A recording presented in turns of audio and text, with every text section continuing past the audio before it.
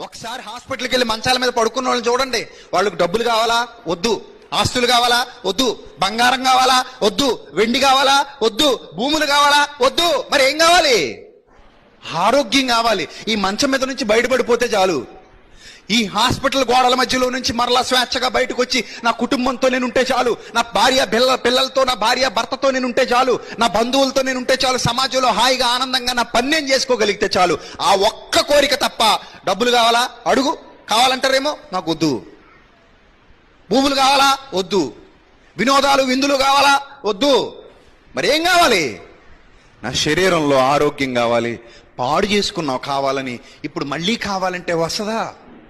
జార విడుచుకున్నావు. మళ్ళీ కావాలంటే వస్తుందా? అందుకే యవనుడా నీ బలాన్ని జాగ్రత్తగా కాపాడుకో నీ జ్ఞానాన్ని జాగ్రత్తగా కాపాడుకో.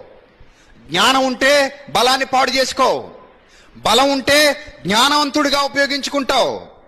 ఆ రెండు చక్కగా ఉపయోగించుకుంటే నీ జీవితాన్ని సార్థకం చేసుకుంటావు.